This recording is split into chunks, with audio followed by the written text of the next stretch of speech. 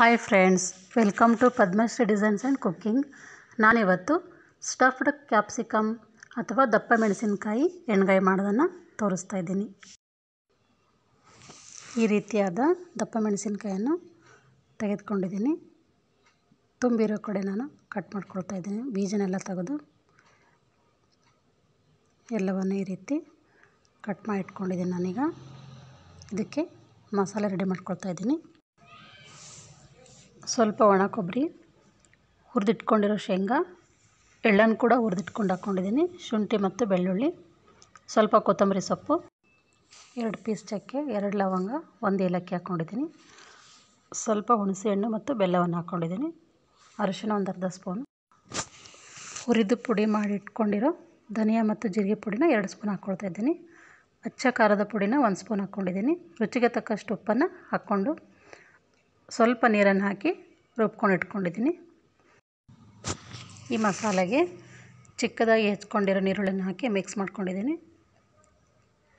ದಪ್ಪ ಮೆಣಸಿನ್ಕಾಯಿ ಒಳಗಡೆ ನಾನು ಮಸಾಲವನ್ನು ತುಂಬ್ಕೊಳ್ತಾ ಇದ್ದೀನಿ ಈಗ.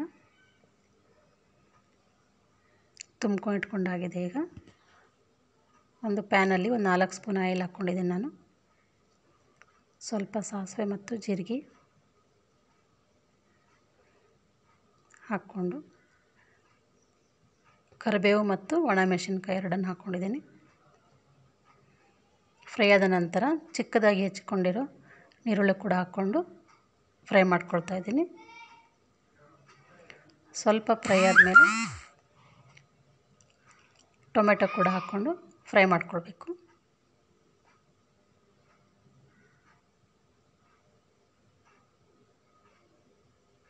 ಫ್ರೈ ಆಗಿದೆ ಈಗ. ಸ್ಟಫ್ಡ್ ಕ್ಯಾಪ್ಸಿಕಮನ್ನು ಒಂದೊಂದಾಗಿ ಇಟ್ಟು ಮುಚ್ಚಳವನ್ನು ಮುಚ್ಚಿ ಸ್ವಲ್ಪ ಬೇಯಲಿಕ್ಕೆ ಬಿಡಬೇಕಿದ್ನ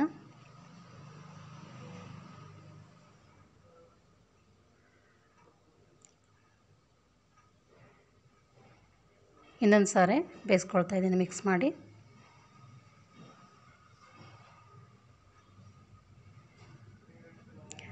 ಈಗ ಸ್ವಲ್ಪ ಬೆಂದಿದೆ. ಈ ಟೈಮಲ್ಲಿ ನಾವು ಉಳಿದಿರೋ ಮಸಾಲವನ್ನು ಹಾಕ್ಕೊಳ್ತಾ ಇದ್ದೀನಿ. ನೀಟಾಗಿ ಮಿಕ್ಸ್ ಮಾಡಿ ಮತ್ತೆ ಮುಚ್ಚಳವನ್ನು ಮುಚ್ಚಿ ಸ್ವಲ್ಪ ಹೊತ್ತು ಬೇಯಿಸ್ಕೊಳ್ಬೇಕು ಇದನ್ನು. ಕುದಿ ಬರೋವರೆಗೂ.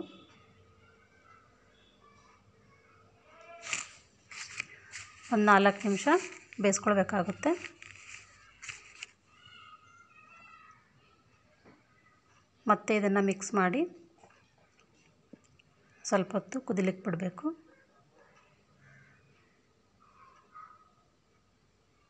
ಚೆನ್ನಾಗಿ ಮಿಕ್ಸ್ ಆಗಿ ಕುದಿ ಬಂದಮೇಲೆ ರೆಡಿಯಾಗಿದೆ ಈಗ.